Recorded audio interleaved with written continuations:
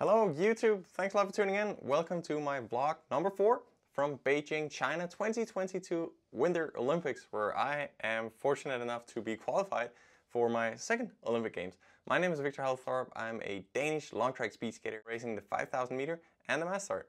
But today in this vlog, I will be telling you a little bit about how crazy the whole media buzz is and how much media attention you get at the Winter Olympics and how that feels and how it's all organized here here in the Olympic Village and at our skating venue. It is a big uh, mess in some ways, but they're really good at organizing it and I've been impressed how well they protect us athletes and how smoothly the communication and all the interviews and all the the journalist talks uh, kind of works out here. So uh, just to give you a bit of insights in that, uh, few people get to experience this and feel it in real life, but um, that's also why I thought it would be really cool for me to share with you guys so you have an idea of how it all functions when all of a sudden, especially when coming from a sport like speed skating, it's not popular in Denmark and it's not that famous a sport. How you go from being this underground skater that nobody knows about and all of a sudden you're at the Olympics. I think I am probably the most spoke off athlete from the Danish delegation, so there's a lot of attention, a lot of cameras pointing my direction at the Olympics. Thankfully, I enjoyed that a lot. I think it's super cool.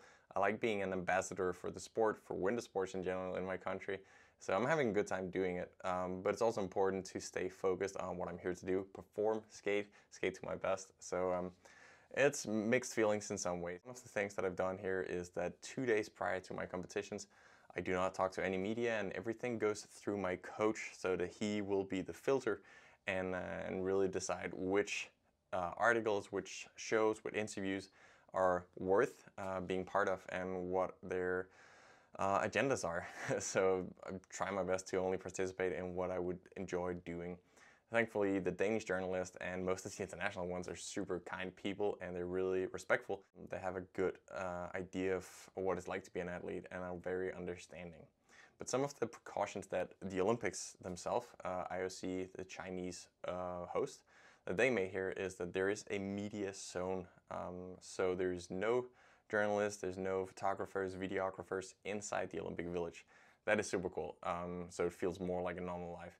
There is one specific place in the Olympic Village where we have to go um, in order to talk to journalists, in order to um, to participate in any media production. This way, you're kind of uh, shielded to that, and it's also super simple. You always know where to go at what time uh, to get in contact with uh, with TV guys. Um, it's a nice place. It's outdoors. It can be a little cold. It's it's really nice, and that's where we do the interviews.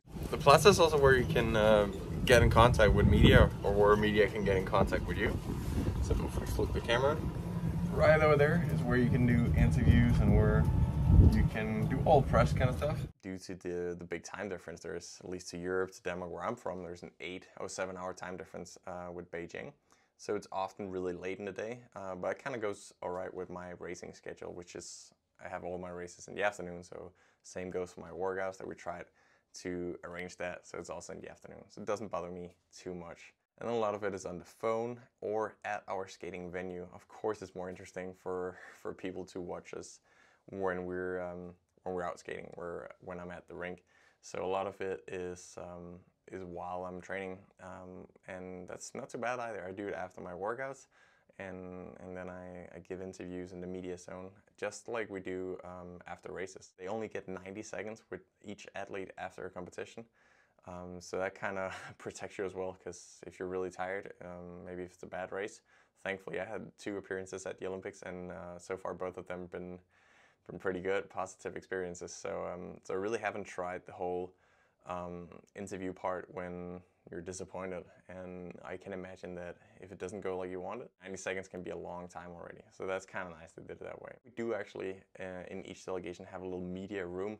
So we have a background that says, in our case, all for Denmark, and there's some Danish flags. So we can do live interviews from, from basically our own house almost. And you can you can be live on TV in Denmark and you can you can share that experience. I mean that's the reason we do this is share those emotions with our countries and, and being able to give back in that way is just it's so nice and really convenient and especially here when family and friends can can be here and cheer this is really the way that that you're together if you have any questions to any of these media things how they work um, just leave a comment if you have any questions to whatever it might be here at the Olympics. I, I'll be super glad to to respond to that, or you make a specific vlog on it. There's already uh, three vlogs, three vlogs uh, online, so check those out. And uh, there's for sure more to, more to come. You can see in the description what my next topic, topics are going to be, and maybe I'll add some to that.